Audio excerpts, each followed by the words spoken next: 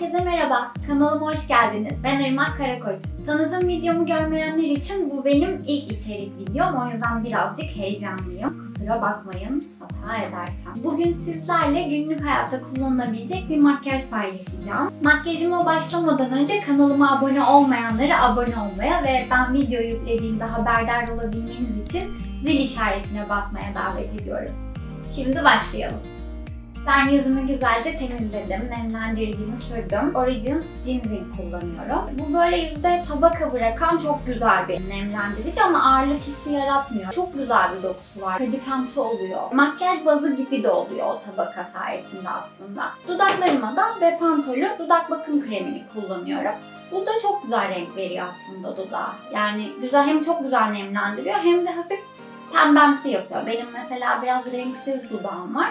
Bu güzel renklendiriyor. Ben önce fondöten sürerek makyajıma başlayanlardanım. Hani böyle önce göz makyajını yaparlar, ondan sonra fondötenlerini sürerler ya şuralar işte lekelenmesin falan diye. Böyle yüzümü önce bir pürüzsüz görmek istiyorum. Ondan sonra renkli ürünlere geçmek istiyorum. Şu iki ürünü karıştırarak kullanacağım. Bu NYX'in Bare With Me ürünü. E, renkli nemlendirici ürünlerden. Bu MAC'in Face and Body'sine birazcık benziyor. Ama yapı olarak daha böyle e, yoğun, daha güzel renk eşitliği sağlayan bir ürün. Face and Body böyle biraz parlaklık yapıyor. Ben o açıdan çok sevmiyorum onu. Gün içinde çok parlıyor.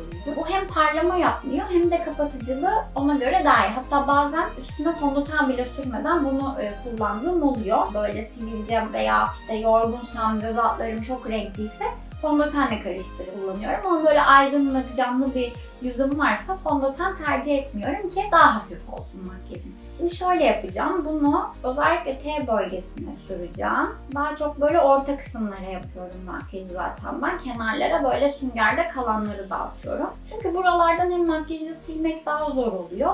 Kalıyor yani. İstediğiniz kadar yıkayın, temizleyin. Biraz daha kalıyor saç diplerinde. Hem de daha yağlı. Daha çok sivilce yapıyor buralarda.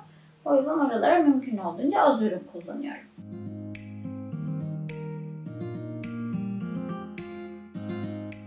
Bunu böyle çok yaymadan sürdüm. Fondötenle karışmasını istiyorum. İkisini beraber süngerle yedireceğim suratıma. E, fondöten olarak da Benefit'in Hello Happy'sini kullanıyorum. Şimdi yaz sonu olduğu için biraz daha rengim koyu. O yüzden 5 numarasını kullanıyorum.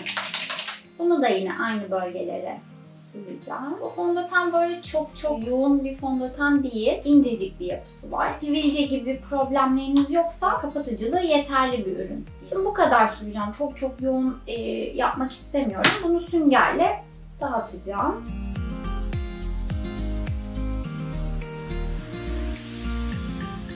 Şimdi bunu birazcık sabitleyeceğim. Normalde ben çok fazla transparan pudra falan kullanmıyorum. Bugün deneyeceğim aslında burada. Ee, göz üstüme genelde Nars'ın bu transparan pudrasını kullanıyorum. Şimdi birazcık göz altlarıma da süreceğim bundan. Bu transparan pudra birazcık renk de açıyor. Aşırı transparan değil bence. O yüzden göz üstünde kullanmayı seviyorum.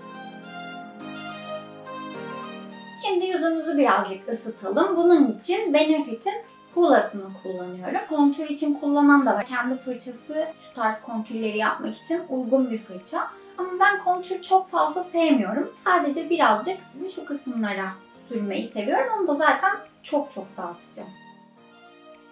Şöyle büyük bir fırçayla özellikle yan taraflara sürerek yüzümü birazcık ısıtıyorum. Geldik fara. Şimdi sizinle keşfettiğim bir ürünü paylaşmak istiyorum. Ben bunu birazcık sömürdüm. Bu bitti biraz. O yüzden ismini çok gösteremiyorum. Bu e, aslında bir ruj. Golden Rose'un bu metalik serisinden 01 numara. Ben bunu e, metalik hani krem farlar olur ya o tarz bir şey sanarak almıştım. Uzunca bir süre kullandıktan sonra far, e, ruj olduğunu fark ettim. Daha sonra farklı renklerini de denedim ama onları o kadar beğenmedim. Üstüne biraz farla gölge verdiğimde çok tatlı bir geçiş sağlıyor. Şimdi bunu böyle gelişi güzel sürdüm. Birazcık fırçayla yayacağım. Ruj olduğu için haliyle yapış yapış bir e, dokusu olabilir. İsterseniz üstüne biraz transparan pudra geçerek e, o yapışkanlığını giderebilirsiniz. Ben far kullanıyorum zaten. O dengeliyor o yapışkanlığını. Şöyle bir fırçayla bunu da AliExpress'ten almıştım. Markası falan öyle çok belli bir şey değil. Bununla dağıtıyorum. Bunun dışında hiçbir fırça güzel dağıtmıyor. Siliyor. Evet şimdi buna farla birazcık gölge katacağım. Far paletim NYX'in Ultimate Edit serisi. Ben bunda kullandığım kalem birazcık metalik pırıltılı bir renk olduğu için şu iki rengi karıştırarak kullanmayı tercih ediyorum. Bazen böyle çok parlak olmasını istemiyorsam yüzümün o zaman da mat renklerle koyulaştırmayı tercih ediyorum. Bugün şu parıltılıları kullanacağım. Belki biraz şundan da katarım. Şöyle gözümün dip kısımlarına uyguluyorum.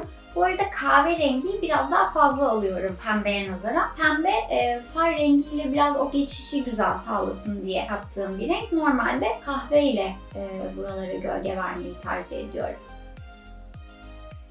Şimdi şununla biraz daha dip kısımları gölgelendirebilirim.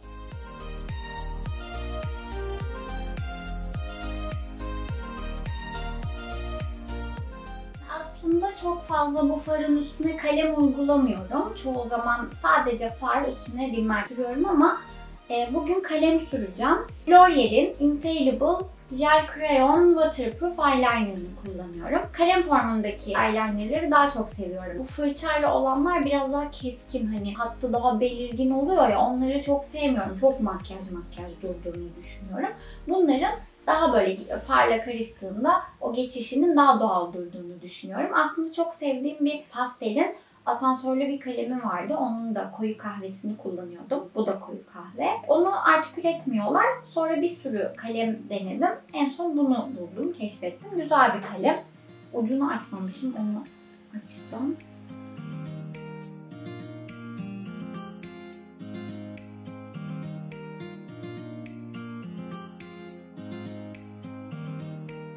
Aralar çok fazla L'Oreal kullanmaya başladım ben.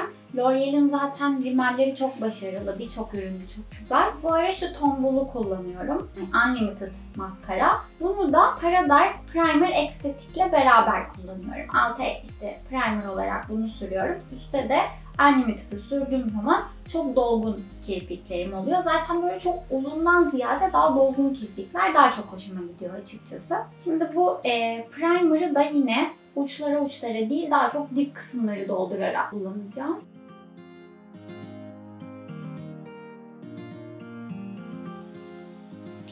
Bunun bu arada e, şöyle bir aparatı var. Onu çıkardığınız zaman şöyle kıvrık olabiliyor. Ben böyle kullanamadım, beceremedim çok. O yüzden dik normal klasik maskara şeklinde kullanıyorum. Bunu da böyle dip e, uçları çok uzatmadan dipleri doldurarak sürmeyi tercih ediyorum.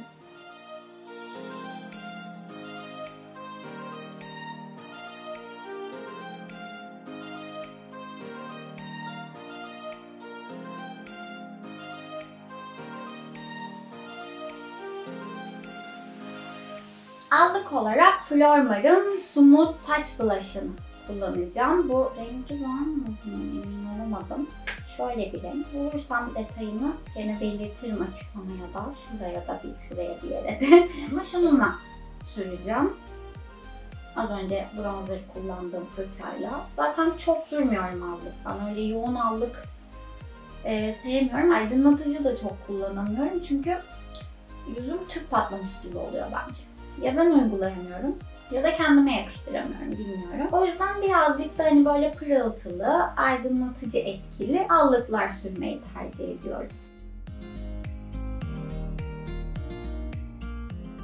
Şimdi kaşımı birazcık dolduracağım ama böyle çok e, çizmeyeceğim, boyamayacağım. Sadece şu kısımlar benim birazcık boş kalıyor. Oraları doldurmak için kullanacağım. Yoksa bu aralardaki seyreklikleri çok kapatmayı tercih etmiyorum. O doğallığını çok bozsun istemiyorum. Benefit'in kaş ürününü şu sivri uçlu ve bu tarafında fırça olan 4,5 numaralı rengini kullanıyorum. Şimdi asıl önemli olan taramak benim için e, kaşı. Hatta önce şu kurusuyla tarayayım Benefit'in fırçasıyla. Benim çok sevdiğim bir ürün var. Bu Essence'ın Le Chambre jel maskarası. E, gözde hiç kullanmadım. Kirpiklerime sürmedim. Ama kaşta çok seviyorum. Hatta bir de saçıma çok kullanıyorum ben. Şurada hani bebek saçları vardır ya onları yapıştırmak için çok kullanıyorum. Bununla böyle taramayı seviyorum. Az önce bahsettiğim o şuradaki boşlukları alttaki kirpik, e, kaşları yukarı tarayarak kapatmayı tercih ediyorum. Boyamaktansa. Evet finalde ruja geldik. E, şimdi böyle yoğun ruj da seven birisi değilim ben. Makyajımda mümkün olduğunca az ürün kullanmayı seviyorum. Her şeyden sürdüm evet ama onları hep az az e, kullanmayı seviyorum. Ruju da çok sevemiyorum niyeyse. E, bazı kullandığım birkaç tane ruj var ama genellikle günlük makyajımda nemlendirici kremimi sürdükten sonra, şimdi makyajın sonuna doğru birazcık nemini kaybetti. Tekrar sürüyorum Bepantolümü. Sürdükten sonra güzelce bir nemlendirdikten sonra dudak kalemiyle sadece birazcık renk vermekten hoşlanıyorum. Dudak kalemi NYX Suede Matte Lip Liner'ın Soft Spoken rengini kullanıyorum. Bunu da böyle dudak çizgilerimin çok dışına çıkarak değil, içinde kalarak kullanıyorum.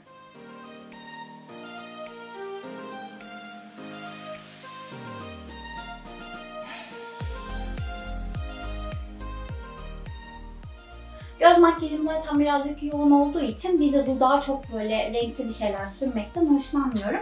Son olarak üstüne Too Faced Lip Injection Extra. Bu ürünü sürmeyi çok seviyorum. Bunun e, dudağı dolgunlaştırıcı bir etkisi var. E, aslında ben altına kalem sürdüğüm için o etkiyi birazcık azaltıyor ama dudağı şişirmesinden ziyade dudağa verdiği rengi çok seviyorum. Hem pırıltılı oluyor hem de birazcık e, renk pigmentlerini sanırım canlandırıyor dudağın. Nasıl bir etkisi var tam olarak bilmiyorum. Kalemin üstüne bunu sürmeyi tercih ediyorum.